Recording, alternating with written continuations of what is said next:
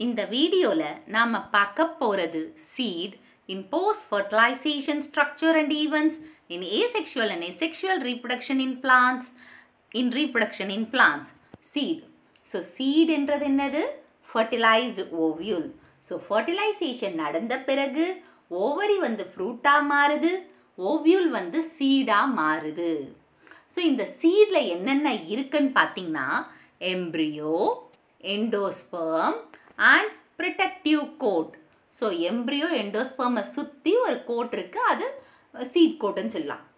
So இந்த சீட்ஸில் வந்து எண்டோஸ்பெர்மஸ் சீட்ஸ் நான் எண்டோஸ்பெர்மஸ் சீட்ஸ்ன்னு பிரிக்கலாம். ஸோ எண்டோஸ்பர்ம் இருந்தால் அது endospermous seeds example wheat maize barley and sunflower non endospermous seeds வந்து beans mango orchids and cucurbits so இப்போது உங்களுக்கு இது ஒரு எக்ஸ்ட்ரா இன்ஃபர்மேஷன் தெரிஞ்சுக்கோங்க. ஸோ ஃப்ரெஷ் ஆர்கிட் சீடோட வெயிட் வந்து twenty point three three and double coconut lodoicea maldivica இது வந்து சிக்ஸ் கேஜி அதோட சீட் ரெண்டு கோகனட் ஒன்றா சேர்ந்தா எப்படி இருக்கும்? அந்த மாதிரி இருக்கும். அண்ட் லொடீஷியா மால்வடீசியா வந்து largest seed sizer seed example for dicot seed so mature dicot seeds வந்து ஃப்ரூட்டோட அட்டாச்மெண்ட்டில் இருக்கும். ஸோ அந்த ஃப்ரூட்டோட அட்டாச்மெண்ட்டில் இருக்கிற அந்த ஒரு ஸ்ட்ரக்சருக்கு பேர் வந்து ஸ்டாக் ஸோ சீடையும் ஃப்ரூட்டோட அட்டாச்மெண்ட்டில் இருக்கும். அந்த அட்டாச் பண்ணுற அந்த சீட்லேருந்து ஃப்ரூட்டை அட்டாச் பண்ணுற ஒரு பகுதியை நம்ம ஸ்டாக்குன்னு சொல்கிறோம் அதுதான் ஃபியூனிக்கல் இந்த ஃபியூனிக்கல் வந்து டிஸப்பியர் ஆகிடும் ஸோ டிஸப்பியர்னால் அழி போயிடும். போயிட்டு ஆனால் அந்த சீடில் வந்து ஒரு தழும்பு மாதிரி ஸ்கேர்னா என்ன?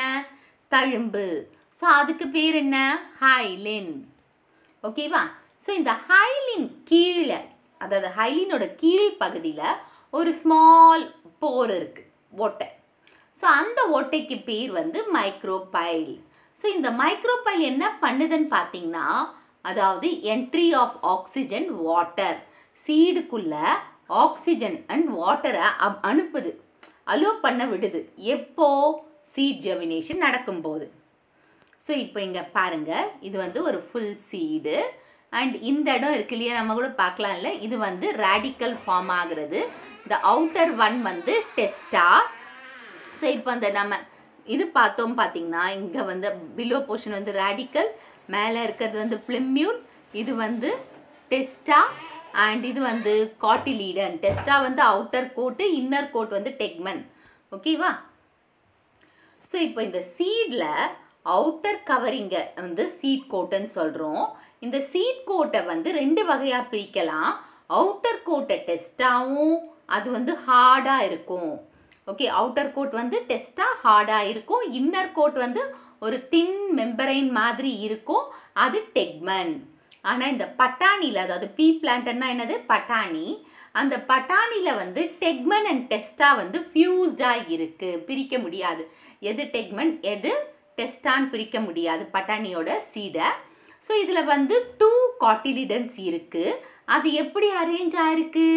இந்த ரெண்டு காட்டிலிடன்ஸ் வந்து எம்ப்ரியானிக் ஆக்சஸ் இதுதான் எம்ப்ரியானிக் ஆக்சஸோட அட்டாச்மெண்ட்டில் இருக்குது அது மட்டும் இல்லாமல் இந்த காட்டிலிடன்ஸில் ஃபுட் மெட்டீரியல்ஸையும் ஸ்டோர் பண்ணியிருக்காங்க. பீ சீட்ஸில் ஃபுட் மெட்டீரியல் ஸ்டோர் ஆகியிருக்கு ஸோ எண்டோ கேஸ்டரில் வந்து எண்டோஸ்பர்ம் இருக்கு இல்லையா? ரிசர்வ் ஃபுட் மெட்டீரியல்ஸையும் ஸ்டோர் பண்ணியிருக்கு. ஸோ அதனால் வந்து காட்டிலியன்ஸ் தின்னாக இருக்கிற மாதிரி இருக்கும். ஸோ இந்த எம்ப்ரியானிக் ஆக்சஸ்லேருந்து ஒரு போர்ஷன் வெளியில் வருது. அதாவது ரேடிக்கல் இந்த காட்டிலிடன் மேலே போகிறது வந்து காட்டிலிடன் கீழே வந்து அந்த எம்ப்ரியானிக் ஆக்சஸ்லேருந்து கீழே வர இந்த பொ பொசிஷனுக்கு பேர் ரேடிக்கல் மேலே வர்றது வந்து பிளிம்யூல் ஓகேவா ஸோ அந்த ரேடிக்கலை நம்ம என்னன்னு சொல்லலாம்? எம்ப்ரியானிக் ரூட்டுன்னு சொல்லலாம். இப்போ இன்னொரு எண்டு இந்த எம்ப்ரியானிக் ஆக்சஸ்லேருந்து இன்னொரு எண்டுலேருந்து ஃபார்ம் ஆகிறது தான் இந்த பிளிம்யூல் ஸோ கீழ்ப்பகுதியில் ரேடிக்கலாகவும் மேல் பகுதி வந்து பிளிம்யூல்னு சொல்கிறோம் இந்த பிளிம்யூலை வந்து எம்ப்ரியானிக் ஷூட்டுன்னு சொல்லலாம்.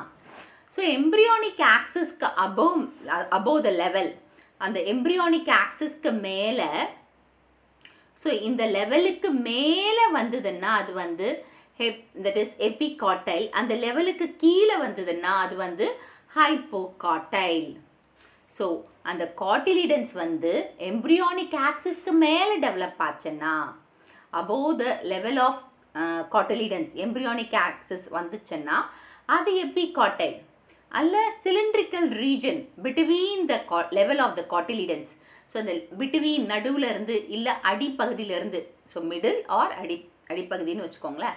ஸோ அது வந்து ஹைப்போகாட்டைல் ஸோ அபோனா எப்படி பிலோனா ஹைப்போ அப்படின்னு வச்சுக்கலாம். உங்களுக்கு ஈஸியாக புரியறதுக்காக தான் சொன்னேன். ஒரேசா seed example for monocot seed so இதுவரையும் படித்தது டைகாட் சீட் ஸோ இங்கே நம்ம எக்ஸாம்பிளுக்கு எடுத்திருக்கிறது வந்து கேரியாப்சிஸ் கேரியாப்சிஸ் ஃப்ரூட் வந்து ஒன் சீடட் ஸோ ஒன் சீடட்னா ஒரே ஒரு சீட் தான். அது பேடி எக்ஸாம்பிள் பேடி எடுத்துக்கிறோம். ஸோ இந்த சீடு வந்து எவ்வளோ ஃபியூஸ்டாக இருக்கு இல்லையா? மேலே வந்து ப்ரௌனிஷ் ஹஸ்க் இருக்குது அதை நம்ம அடித்து மிஷினில் போட்டு அடித்து தானே நெல் நெல்லில் இருந்து அரிசியை பிரிக்கிறோம். ஓகேவா ஸோ இந்த சீடை சுற்றி ஒரு ப்ரௌனிஷ் ஹஸ்க் இருக்குது அதில் வந்து க்ளூம்ஸ் வந்து டூ ரோஸில் அரேஞ்ச் ஆயிருக்கு. ஸோ இந்த சீட் கோட் வந்து ப்ரௌனிஷ் மெம்பரைன் லேயராக இருக்குது அந்த கிரெயினோட ஒட்டி இருக்குது அட்ஹேரன்னா அட்டாச்சு இருக்குது ஒட்டி இருக்குன்னு அர்த்தம். ஸோ இதில் எண்டோஸ்பம் அதிகமாக இருக்குது பல்க் அந்த கிரெயினில் அதிகமாக எண்டோஸ்பம் இருக்குது அதில் ஸ்டோரேஜ் டிஷ்யூவாக இருக்கிறது வந்து எண்டோஸ்பம் ஸோ இதை வந்து எம்ப்ரியோலேருந்து செப்பரேட் பண்ணணும்னா அங்கே ஒரு லேயர் இருக்குது அந்த லேயர் தான் வந்து எபித்தீலியம் ஸோ இந்த லேயர் தான் எபித்தீலியம் வச்சுக்கோங்களேன். எண்டோஸ்பமையும் எம்ப்ரியோ இது வந்து எண்டோஸ்பம் பார்ட் இது வந்து எம்ப்ரியோ பார்ட் இதை ரெண்டுத்தையும் பிரிக்கிற லேயர் தான் வந்து இந்த எபித்தீலியம் ஓகேவா ஸோ இப்போ இந்த எம்ப்ரியோ இஸ் ஸ்மால் ஏன்னா இங்கே பாருங்கள் ஒன் சீடட்ன்றதுனால இந்த எம்ப்ரியோ எண்டோஸ்பம் போர்ஷன் அதிகமாக இருக்கிற மாதிரியும் எம்ப்ரியோ வந்து கம்மியாக இருக்குது இந்த எம்ப்ரியோக்குள்ளேயே என்னென்ன இருக்கணும்? பிளிம்யூல் இருக்கணும் ரேடிக்கல் இருக்கணும். ஸோ இந்த பிளிம்யூல் வந்து ஷூட் அபெக்ஸ் அதை சுற்றி இருக்கிறது அதுக்கு மேலே இருக்கிற அவுட்டர் கவரிங் வந்து காலியாப்டைல் ப்ரொடெக்டிவ் ஷீட் அதே மாதிரி ரூட்டு ரூட் கேப்பை சுற்றி ஒரு ப்ரொடெக்டிவ் கவர் இருக்குது அது வந்து கோலியோரைஸா ஸோ இது எல்லாத்துக்கும் மேலே ஒரு ஸ்கியூட்டெல்லம்னு ஒரு பகுதி பகுதி இருக்குது ஸோ அந்த காட்டிலிடன். ஸோ இந்த எம்ப்ரியோவில் ஒன் ஷீல்டு காட்டிலிடன். ஸோ இது வந்து ஒன் ஷீல்டு ஒரே ஒரு மொனோ காட்டிலிடனா என்ன? ஒரே ஒரு காட்டிலிடன். One shield cotyledon. அதுக்கு பேர் என்னென்னா இங்கே ஸ்கியூட்டெல்லம்னு சொல்லலாம். ஓகேவா ஸ்கியூட்டெல்லம். ஸோ இது வந்து எம்ப்ரியானிக் ஆக்சஸோட அதாவது லேட்ரல் சைட்ஸ் அதாவது எம்ப்ரியானிக் ஆக்சஸோட சைடில் ப்ரெசென்ட் ஆயிருக்கு இந்த ஸ்கியூட்டெல்லம். ஸோ நெக்ஸ்ட் ஒன் வந்து ஒரு ஷார்ட் ஆக்சிஸில் ரேடிக்கல் அண்ட் கீழ்ப்பகுதி வந்து ரேடிக்கல் மேல் பகுதி வந்து பிளிம்யூல் இருக்குது அதுதான் இங்கே சொல்லியிருக்காங்க. ஸோ இந்த பிளிம்யூலை சுற்றி கவர் பண்ணியிருக்கிற அந்த லேயருக்கு பேர் என்ன? ப்ரொடெக்டிவ் ஷீட்டுக்கு பேர் காலியாப்டைல் அதே மாதிரி ரேடிக்கல் அண்ட் ரூட் கேப்பை சுற்றி ப்ரொடெக்ட் பண்ணியிருக்கிற லேயருக்கு வந்து கோலியோரைசா ஸோ இப்போ இந்த ஸ்கியூட்டல்லம் வந்து த எது ச க்ரோயிங் எம்ப்ரியோ அந்த க்ரோயிங் எம்ப்ரியோக்கு என்ன சப்ளை பண்ணுறாங்க ஃபுட் மெட்டீரியலை சப்ளை பண்ணுறாங்க ஸோ அந்த ஃபுட் மெட்டீரியல் எங்கேருந்து எடுக்கிறாங்க? எண்டோஸ்பர்மில் இருந்து இந்த ஸ்கியூட்டல்லம் தான் எம்ப்ரியோக்கு ஃபுட் மெட்டீரியலை சப்ளை பண்ணுறாங்க த்ரூ த எபிதீலியல் லேயரை வச்சு. ஓகேவா ஸோ இந்த வீடியோ உங்களுக்கு பிடிச்சிருக்கும் புரிஞ்சிருக்கும்னு நினைக்கிறேன். இந்த வீடியோ உங்களுக்கு பிடிச்சிருந்தா ஒரு like share subscribe to science easy tech channel உங்களுக்கு ஏதாச்சும் டவுட்ஸ் இருந்தால் கமெண்ட் பாக்ஸில் போடுங்க. என்னோடய ப்ரீவியஸ் வீடியோஸை பார்க்கணும்னா டிஸ்கிரிப்ஷன் பாக்ஸில் லிங்க் கொடுத்துருக்கேன். நீங்கள் வேணுமா போய் பாருங்கள் தேங்க்யூ